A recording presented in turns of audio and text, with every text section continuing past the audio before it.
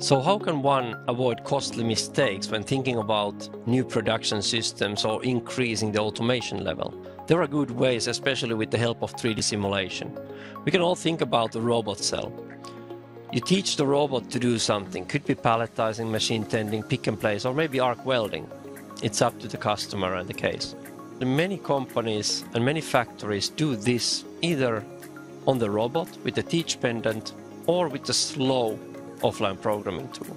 This is where Visual Components and our partners will help you. We have very effective tools for robot offline programming, enabling you to do most of that work offline.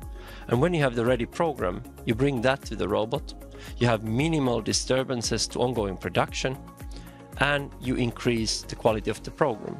And it's not only the robot you should care about. This is often the case that when you work with proprietary robot offline programming software, Robot is the only thing you focus on.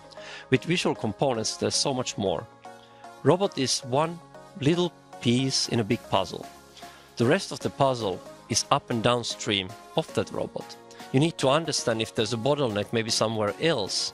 Maybe it's something that is limiting the robot from getting enough parts.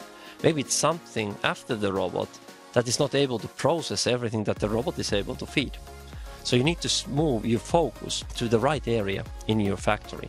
We help you in understanding the big picture, the total flow, and help you to do the right kind of investments to get the most out of your production system.